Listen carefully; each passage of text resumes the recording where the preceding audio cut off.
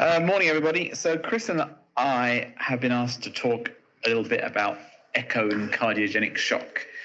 Um, and as you know, during induction, we spend a fair bit of time going over focused echo, and I think most people working for the service would be relatively comfortable with achieving these four sort of basic echo views and, and asking those simple, focused questions. So, absolutely qualitative. Is the heart beating?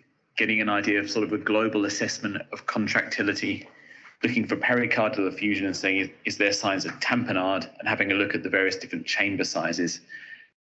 And that's useful to a point, but there's a lot of other stuff.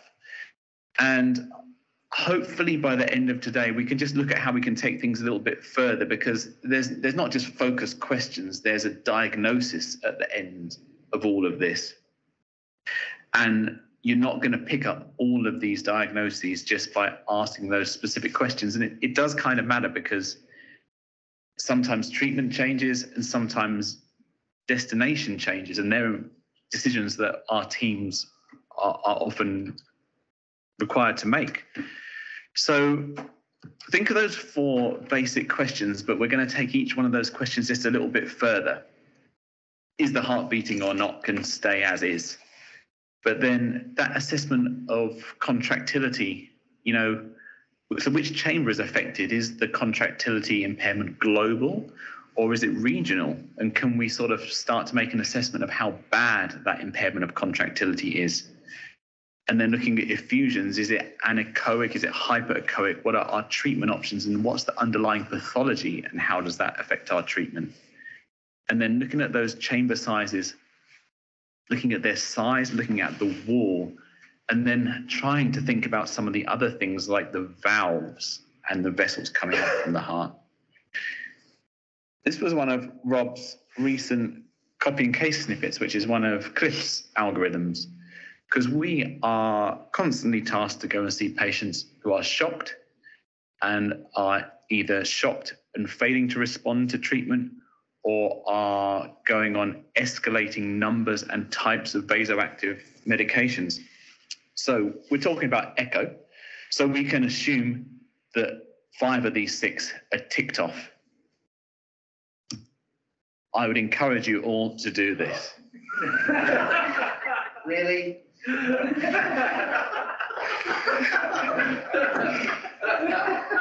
timer out of neck is the least resistance.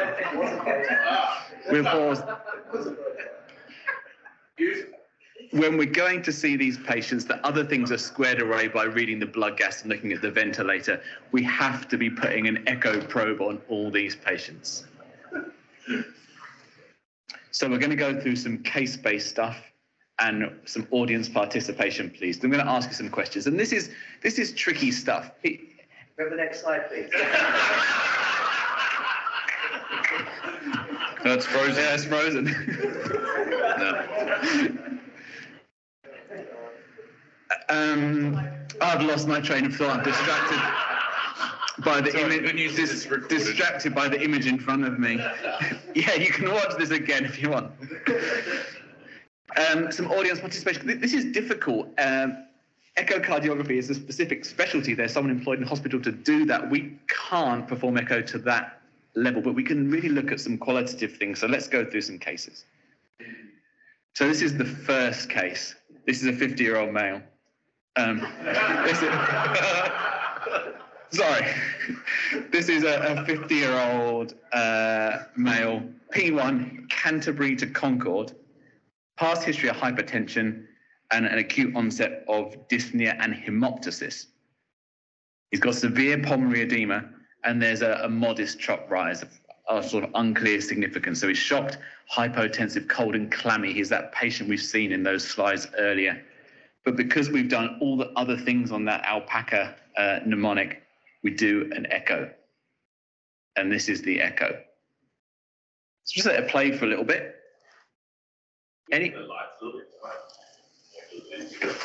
You needed the movie lighting that the volunteer take the microphone to talk us through their interpretation of these two. Oh. Cool. How's that? That's good. Yeah. Anyone want to talk us through it? But if not, then I can start asking you those focus questions. And you'd like to comment first on the contractility then? Normal, abnormal?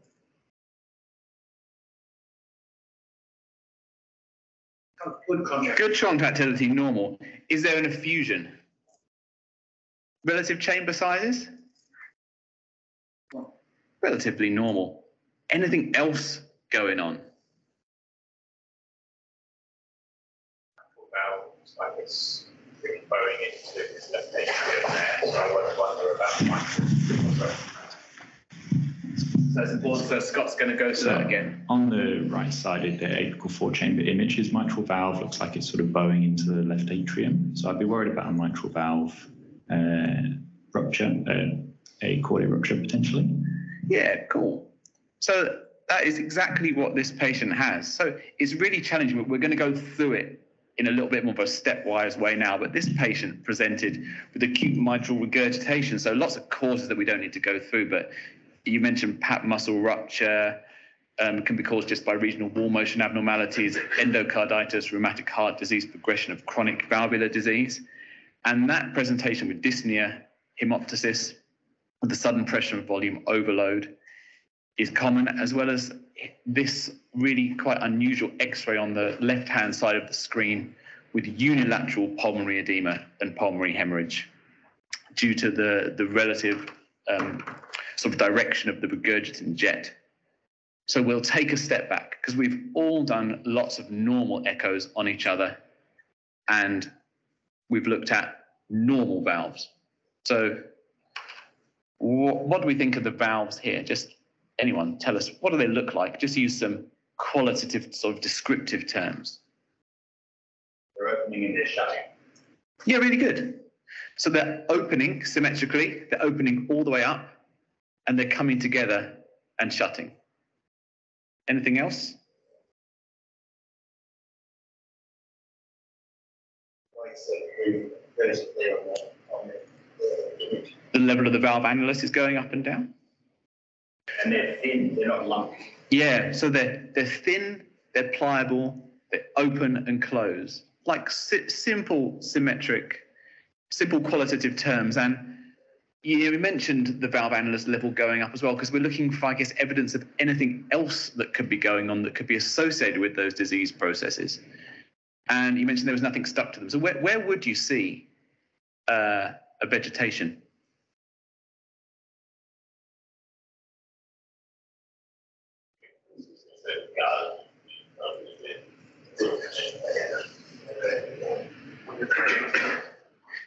Yeah, what's what side of the valve do they like to hang out on?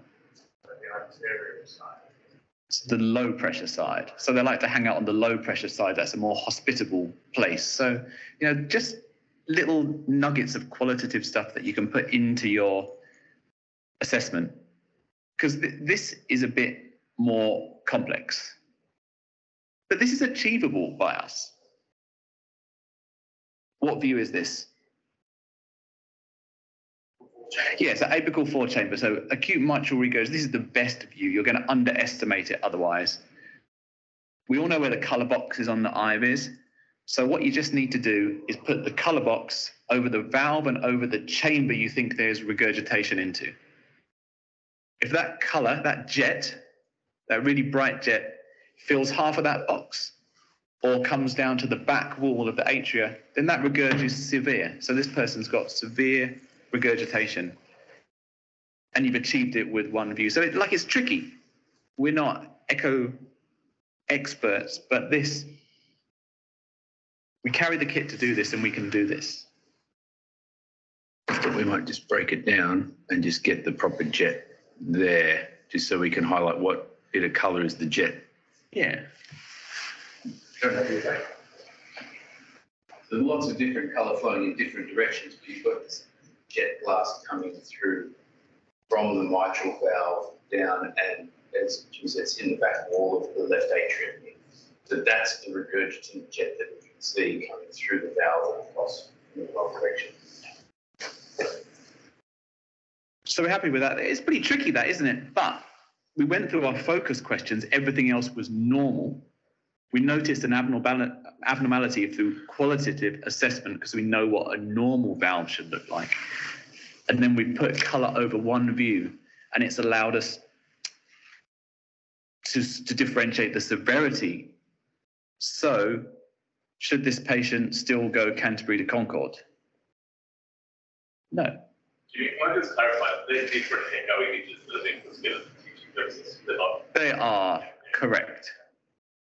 Yeah, the, the, the contractility, I agree, in this is, is markedly reduced, but that, that is correct. But in answer to your question, no, they should be going Concord. Where are we going to go instead? Uh, yeah, Yeah. How are we going to manage them? What's the optimization of someone with acute mitral regurgitation? 'Cause they're pretty shocked, weren't they? If we go back to um, if we go back to the presentation, I went too far. Um,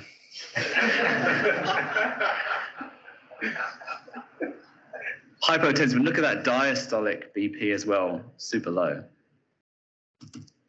Anyone want to tell us about the medical optimization of this patient?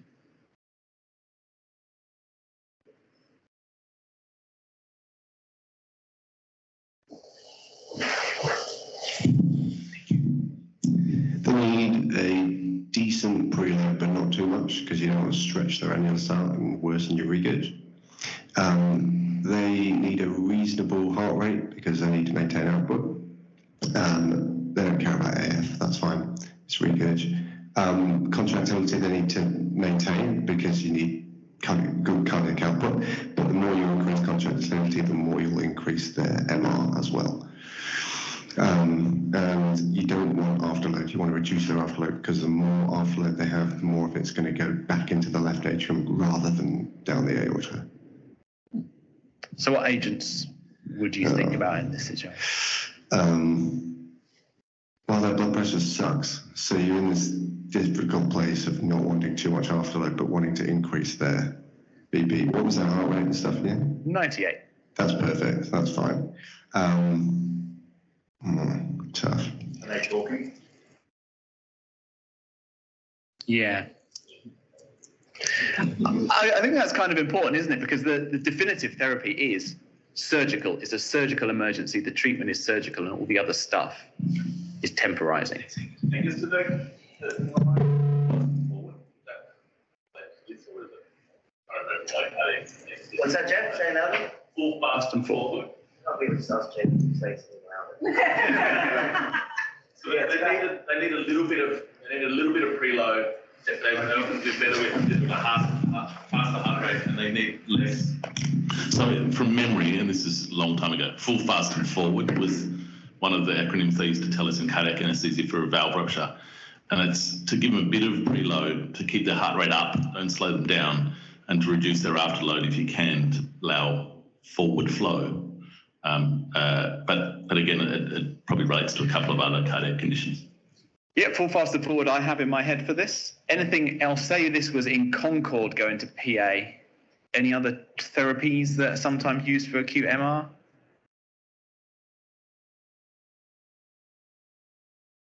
Balloon pump, afterload reducer might actually be one of the more sort of solid indications for balloon pump retrieval that we do.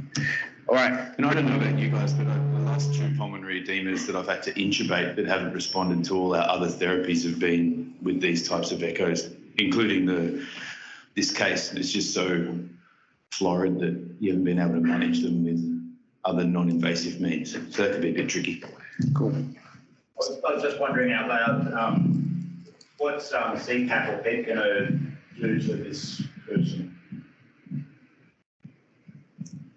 I mean, they've got pulmonary edema, haven't they? They they they, they need that. Yeah.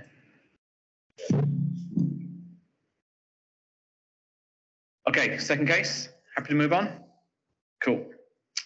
It's P1 inter-hospital transfer ride to North Shore. So this is a 52-year-old female presented with chest pain, diaphoresis, dyspnea, and she's shocked. Abnormal ECG, so ST elevation in V3 to 6 and lead 2 but without Q waves or reciprocal change. she's being transferred in the middle of the night for urgent angiography and her blood pressure and heart rate are as shown there. So blood pressure 72 on 42 and a heart rate of 102. And you've ticked off all of your other things on the alpaca um, checklist. So you do an echo. And this is the echo. Who would like to talk us through this? Something that Jimmy may have mentioned when I was out the room. I think it's really important when you put these probes on in these cases is to have a mental image of what you think the heart's going to look like before you put the probe on the skin. You know, you've got this image of someone with ischemic ECG, cardiogenic shock. What do you think that echo is going to look like? And then when you put the probe on, were you expecting it to look like this? I think is a really helpful tool in that qualitative assessment um, that we're using.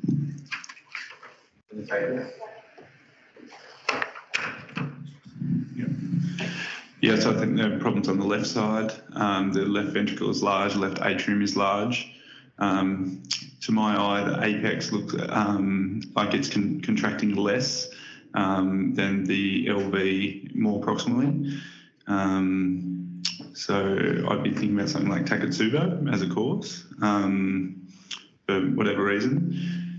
In terms of the mitral valve, the um, septal leaflet looks like it's got good excursion, but the other leaflet to me doesn't look like it's opening as well, just as a bit of a qualitative look, um, which is probably similar to what you think with that ECG in the chest Yeah, pain, perhaps. so pretty typical ECG that you'd see for Takotsubo, so catecholamine associated um, dysfunction, which in which here is apical, is not always apical, can be reversed, focal, but um, the important thing is we went a bit further with that assessment, didn't we? It was it wasn't just what does contractility look like as well. Contractility at the base is probably okay, but contractility at the apex of the LV is is impaired, it's ballooned, isn't it? But the right side looks okay. And you can get right side involvement with Takotsubo, and that's a terrible place to be. But certainly this, by just asking a few more questions and looking looking at a little bit more sort of focal way, allows us to actually look, think about the diagnosis. Because this is what you're getting.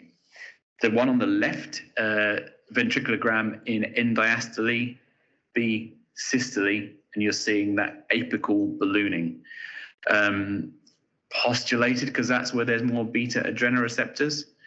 Um, an interesting case like this, I didn't put that case out there by saying, oh, this lady's presented following some bad news or uh, you know a highly stressful emotive situation because sure that can happen but a third of cases there's going to be no clear precipitant at all.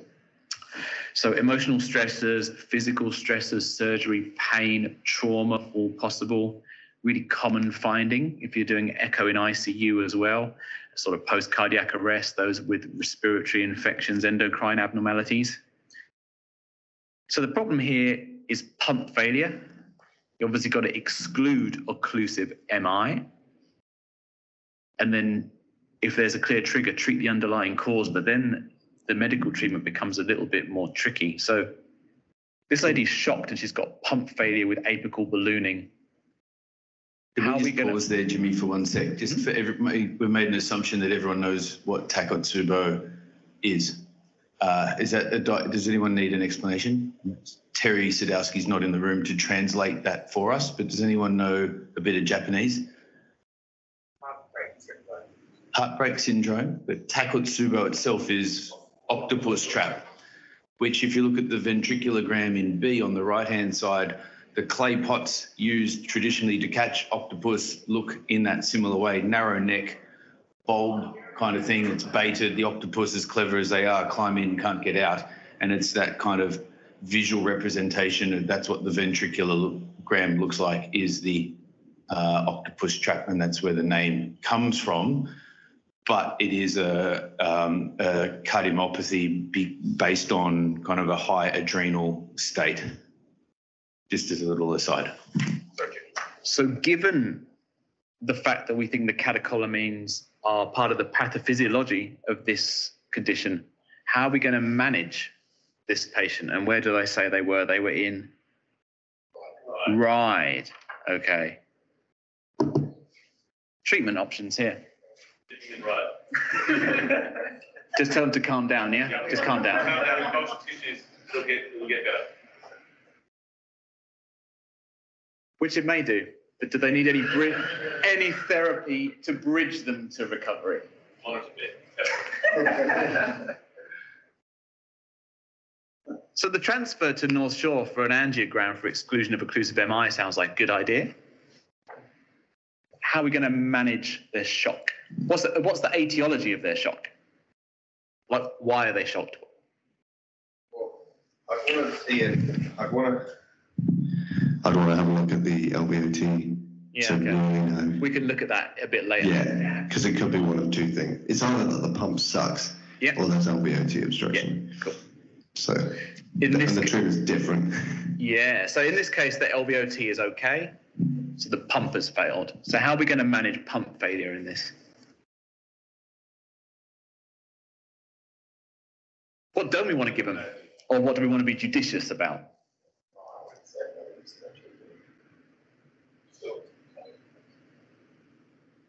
Oh, come on, Pete, I just told you.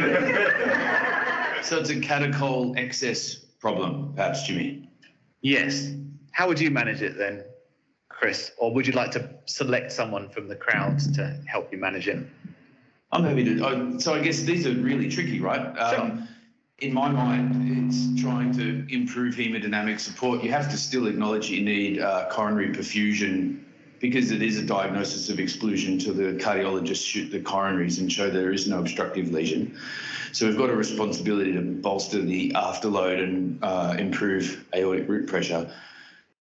Finding a non-catechol uh, vasoconstrictor is probably the right thing in my mind. Um, so, you know, you might need some noradrenaline in this instance, but maybe something like vasopressin or other agents, something with more alpha, less beta, is what I'm thinking.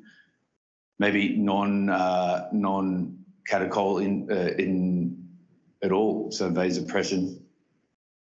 They, in my experience, have seen a couple of these that need balloon pumps uh, as alternate support as well. Uh,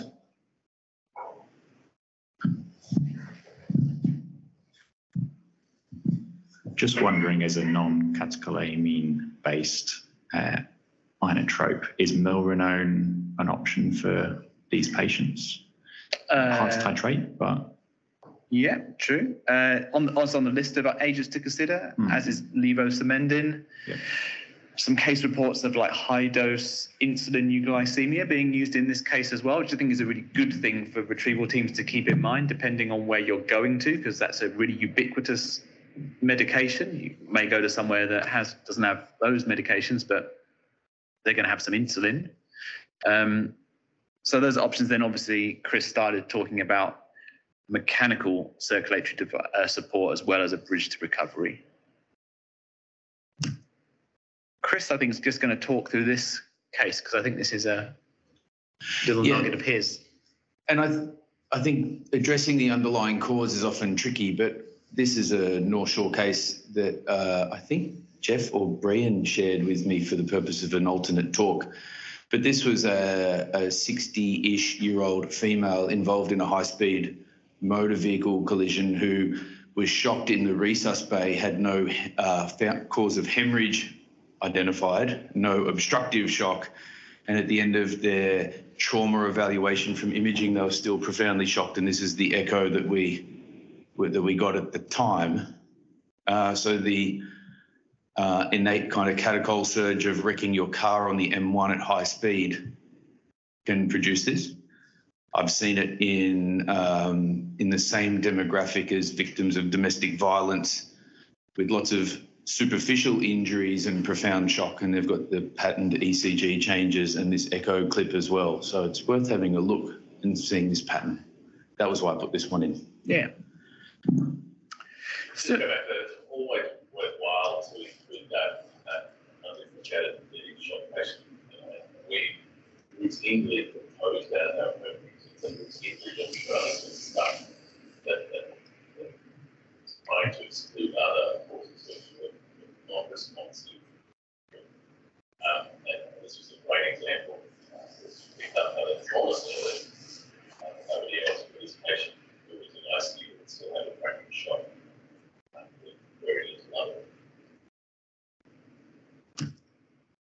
go on to a third case that will bring us into a, a fourth, which is quite an interesting discussion. So they're all P1s. Um, another P1 helicopter job. This will be Bega to St George, 65-year-old male, past history of hypertension, uh, diabetes, uh, benign prostatic hypertrophy, and they think he's got urosepsis because he's had three days of dysuria, fever, and flank pain. Sounds pretty typical. Maybe he does, but maybe there's something else going on too. And they've treated him with some antibiotics, then giving him a little bit of fluid, 500 mils. I've started an adrenaline infusion that's running at a fair dose. Um, and on the phone, the SRC's advised, well, they need to put in the CVC and start noradrenaline. But because we're doing a talk about the importance of focused echo in undifferentiated shock and shock non-responders, when you get there and the blood pressure and heart rate are just the same, you're going to do an echo.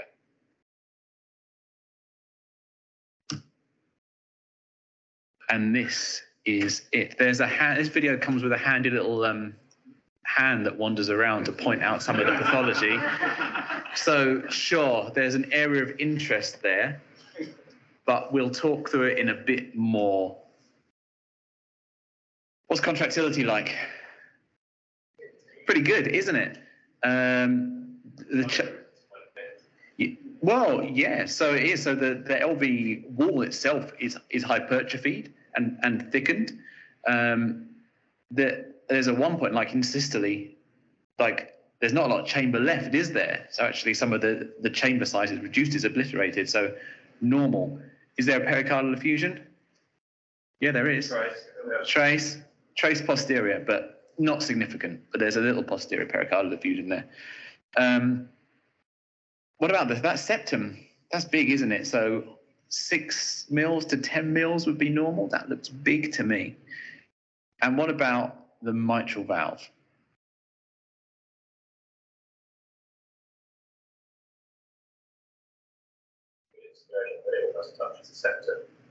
Yeah, so it does. So good excursion touches the septum. That's good when we're seeing it contracting and opening during the right phase of the cardiac cycle.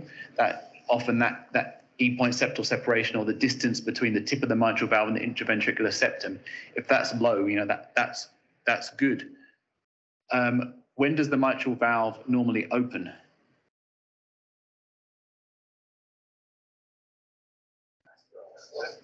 When is it open here? Sam, You got some SAM, yeah. So it's tricky. So there's another case here, and it, look, it looks good here as well. But I think it, I, it exemplifies this things even more. Look at the size of that myocardium. It is ridiculously big. The chamber is completely obliterated, but it's still contracting quite vigorously. Uh, there is also a, a trace pericardial effusion in this patient as well. It's, it's just a bigger version of the same.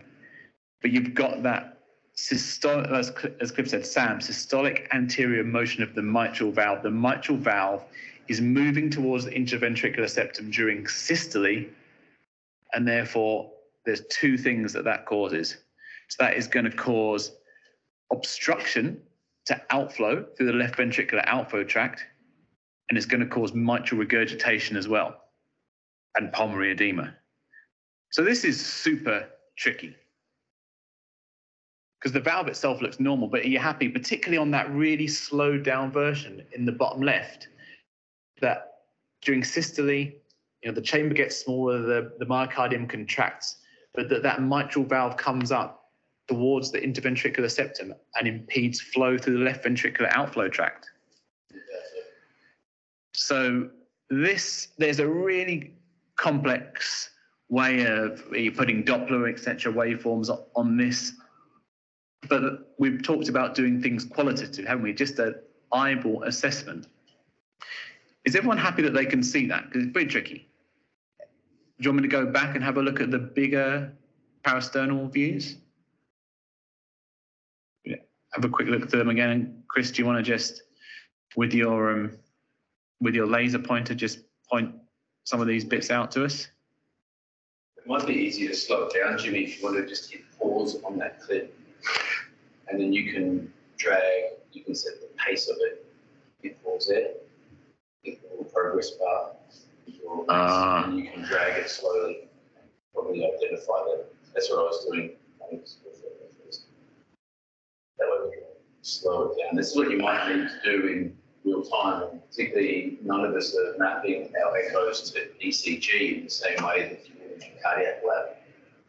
Um, For mine, I'm looking for the first time I see even contraction of ventricles in the start of systole.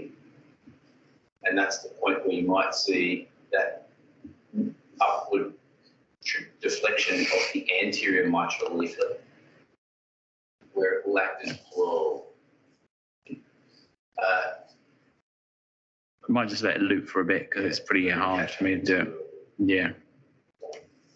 So it acts as during, you'll see the walls and the ventricles start to come together at a point where you expect the mitral valves to be locked shut uh, and forming a shield back towards the left atrium. But instead, you're getting this um, paradoxical upward deflection of the anterior mitral leaflet into the LVOT because of the Venturi effect and high flow going through. It gets dragged up, which impedes output through the outflow tract but also shunts blood back towards the left atrium. You have two problems causing, you have regurgitant flow, which can cause pulmonary edema. You've also got impaired flow and less stroke volume going out through your um, outflow tract. Cool. I still think out of all the clips, this is the one, we might just play this bottom left one, Jimmy. Uh, Yeah. The best point, we might even just pause it right there, that upward deflection during systole, blood goes back the wrong way, and you reduce your cardiac output during that cycle. Really subtle. I don't think I've seen any clinical cases. It's just more something to really look for. Be aware of. Yeah, I mean, I guess it's important because it's, you know, paradoxically, this is thi- this patient. If they just keep doing what they were doing, it's going to get worse. Um, We've seen this in two trauma patients as well, that were initially thought to be hypertensive, hyperkinetic risks. Was, uh, due to SAM. yeah. So you're going to have patients walking around with uh, LV hypertrophy related to, you know, um, hypertrophic cardiomyopathy, other hy- other cardiomyopathies, hypertensive cardiomyopathies, um, and they might be walking around without any knowledge of this, and then they get unwell with an intercurrent illness, and then this is unmasked. So volume depletion, tachycardia, they can all be precipitants of this. LAD ischemia can be as well as um, as well as Takotsubo, and this is what um, Angus mentioned. This all really stuff you up. This is really tricky. So, I have a look at this view. This was this was the best view I could find, but I think it identifies it nicely. So, um, anyone want to tell us what's going on there?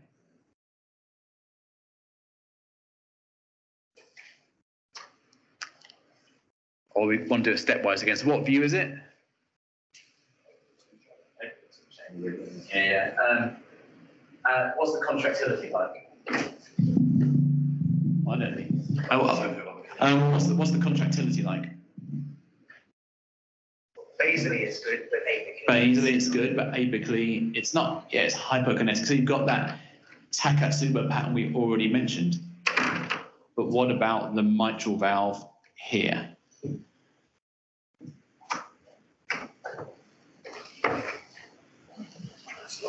You can see the kind of whole itself over, it tells over. Hmm. It just. Yeah. So there's some stat. So the anterior leaflet of the mitral valve is moving anteriorly during systole. So you have Takotsubo with pump failure, but you also have impairment of LV outflow, and you also have mitral regurg. There you go. Start basal contraction and the valves. Just um, of interest, we have to slow down the review section on maybe I haven't take that.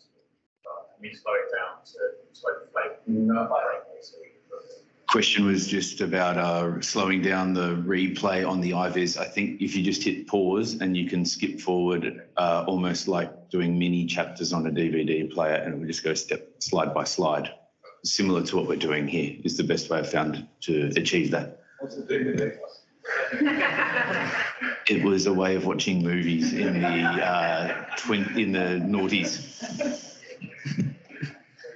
And, and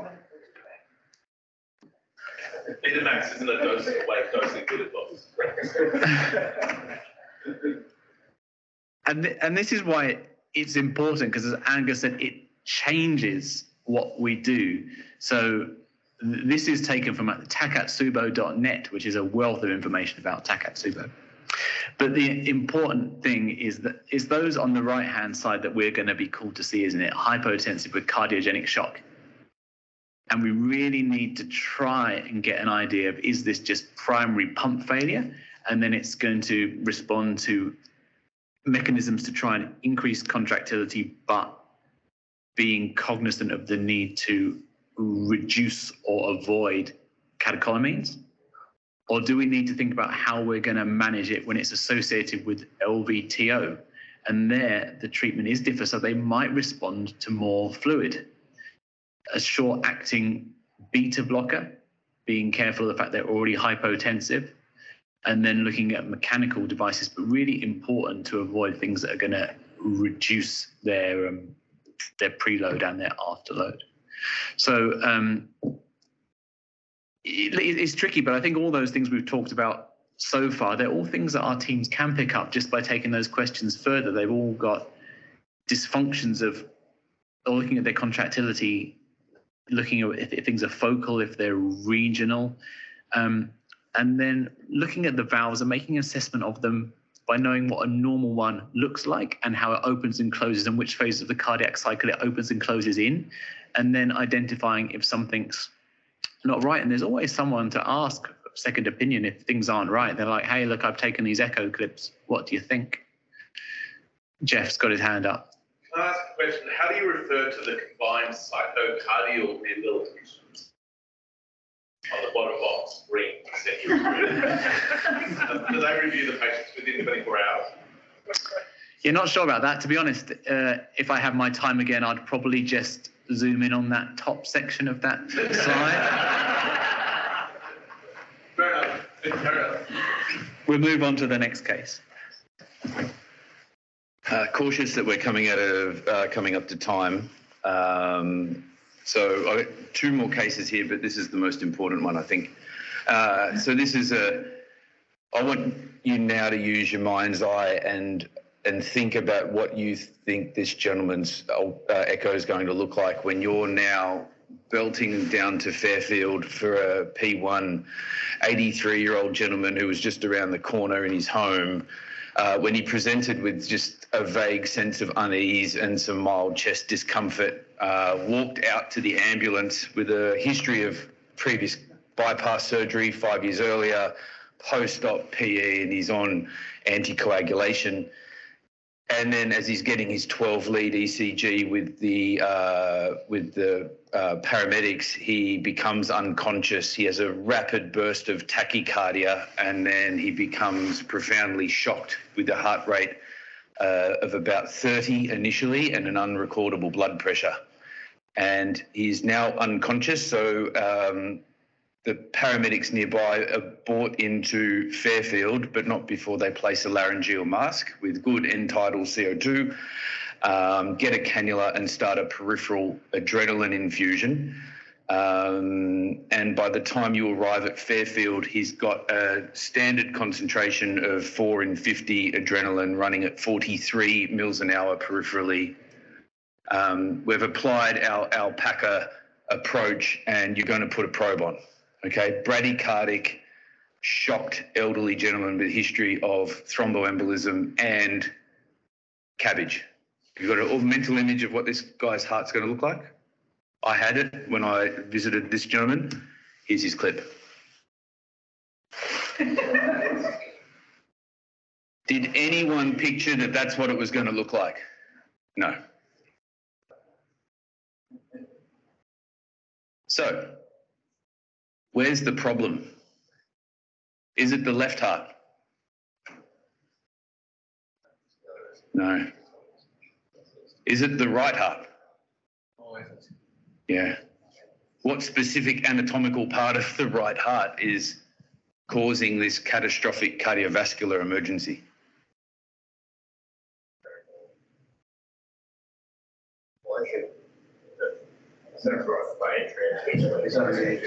I think that- Sounds right, by entry. It's not an entry. That's a wooden, yeah. The material in. Yeah. And you're left with, eh, what do we think then of the right ventricle? We haven't seen a smaller, more uh, uh, empty right ventricle today, have we? It's completely empty. It's trying to contract, but there's nothing to move forward. Um, we can see maybe a little whimper of tricuspid movement just above that big echogenic material in the right atrium. And as a result, I think just a, the profound shock state, the LV doesn't look like it's doing very much at all either, does it? What's the cause of this? What's the origin of this big echogenic something or other in the right atrium? Also, follow up. Potentially. What is it? I don't know. What could it be? tumor. Tumor, clot, vegetation. It's hard for us to tell, isn't it? So I guess you go and look, he's got a history of thromboembolism. He's not clearly alert enough to give us uh, a history about his compliance with his anticoagulation. So we went looking elsewhere and we scanned his groins very quickly, and his femoral veins looked okay. Because this is recorded, I didn't put the clinical image of this gentleman's appearance from the end of the bed, but as you walk into the room at Fairfield, what you see is a blue plethoric head with a IJ and EJ that is enormous. Looks like the M5 tunnel. Um, and so, You didn't show him, is that because you shouldn't show images of people without their consent? correct. Yeah. This is his IJ. It was already published on social media, definitely. What do we think that is? This is an IJ. Is it thrombus? Could it be thrombus? How could we tell? Yeah, so this compressed down easily. Um, but the initial thought was, oh, this is a whopper. He's, he's thrombosed his entire um, superior vena cava territory, but this was compressible. And this is, I think, just a testament of absolutely sluggish flow and almost a near complete uh, occlusion of preload into the circulation. Um, and what we thought was uh, complete Correct. And what we thought was going to then just be near complete uh, tricuspid occlusion as a rare cause of cardiogenic shock. What are you going to do?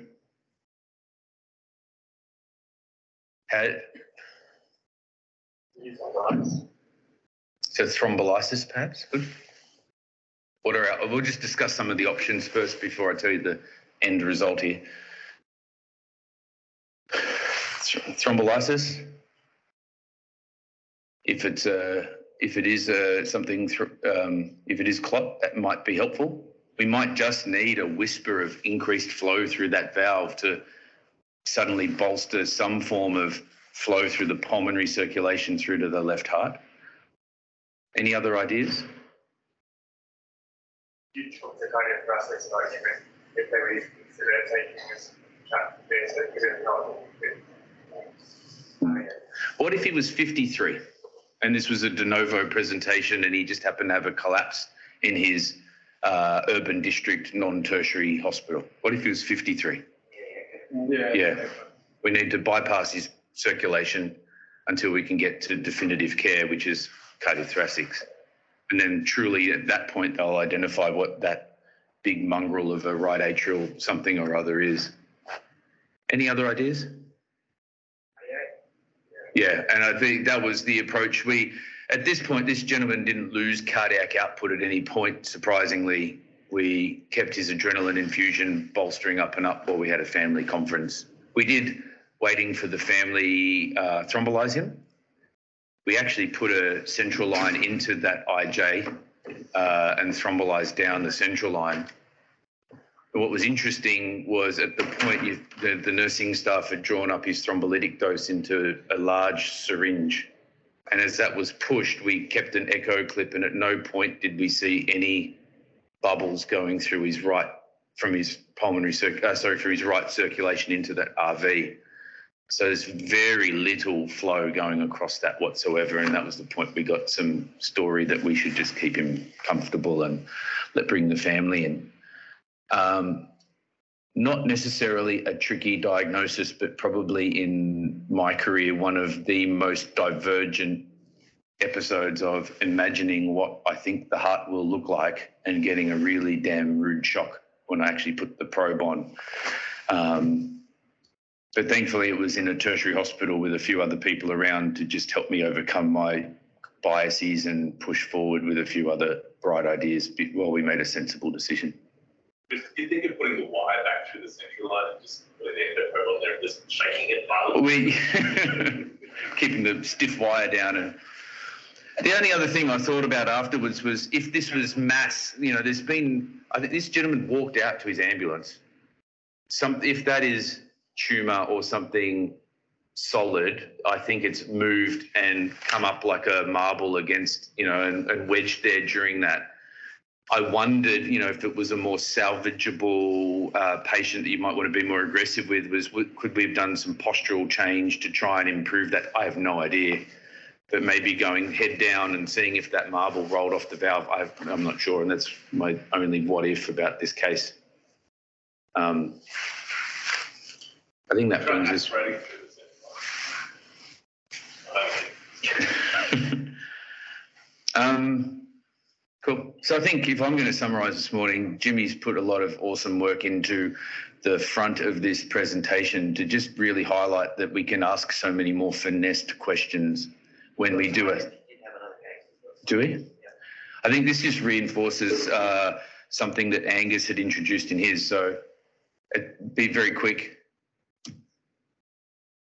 Auburn to Westmead, uh, 3 a.m., which was what I had uh, for a 53 year old female who is, for all accounts, septic, severe abdominal pain, peritonism, fever, raised inflammatory markers, and shock that's refractory to uh, a reasonable volume of fluids, 1500 mils of crystalloid given, um, a peripheral metaraminol infusion uh, accepted for surgeons and intensive care at Westmead.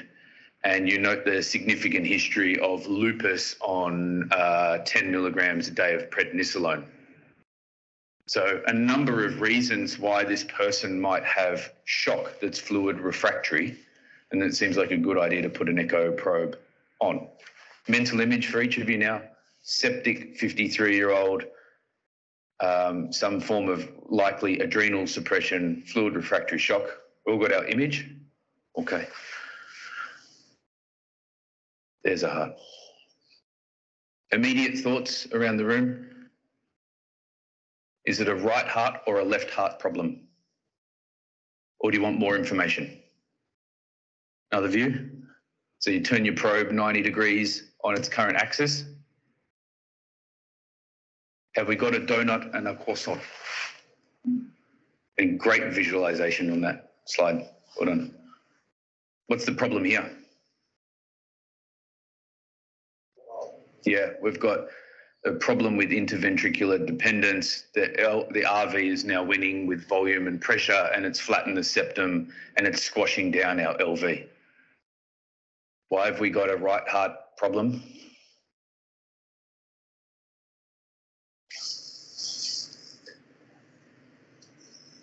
Probably some unrecognized pulmonary hypertension with a lupus lung disease that was previously undiagnosed uh, because she's been relatively well maintained in the community and she's on a good dose of pred. And she'd already had stress dose hydrocortisone. Um, but perhaps that 1500 mils of fluid has done some harm more than anything else. So this comes down to some of the stuff that Angus had alluded to before, and it's just a representation. So I'll get Jimmy, if you've got your laser pointer there, mate, to just point out some of the pertinent features here that that right ventricle is double the size of its left-sided neighbour, isn't it? Uh, it's really bowing out We've got the septum between the two bowing in from le- uh, from right to left, impinging on the LV chamber size and therefore the effective stroke volume on that. The tricuspid annulus is not moving in any great detail in a vertical plane in the D, in the manner in which you would expect for a hyperdynamic septic person with an otherwise healthy heart. And you've got big bowing of the free wall of the right ventricle that's not really contracting inwards at all. Um, so it looks like to me a volume overloaded um, and pressure overloaded right ventricle. But let's just think about the chronicity of this. Does that RV free wall look to be a nor? What do we think about the musculature of that RV free wall? It's pretty thick, isn't it? It almost looks like you would expect a normal, healthy LV to look like. So we've probably got someone with a degree of long-standing pulmonary hypertension and some RV hypertrophy as a result of that, which gives a clue to a chronicity of this disease with an acute deterioration because of the intercurrent problem and some of the unfortunate treatment effects of uh, managing this type of patient blindly, blindly without echo, I mean. And then just the final thing, it's not hard, as Jimmy alluded to um, with the valvular stuff before, to just put a colour box across the valve that you're interested in and you can see reasonably moderate tricuspid regurgitant jet there going from the RV to the RA, almost hitting the back wall. So I've talked enough about how to manage these cases of RV failure and pulmonary hypertension, but this was just the case, not knowing uh, Angus's content, that we just thought we'd add in as a visual representation of how helpful echo could be in those undifferentiated shocks or the shocks that aren't responding to the usual therapy when you're working blindly. And that's all from Jimmy and I. Are there any questions? So worth that extra pause, look at the valves. Are the valves looking healthy, unhealthy? Are they functioning normally?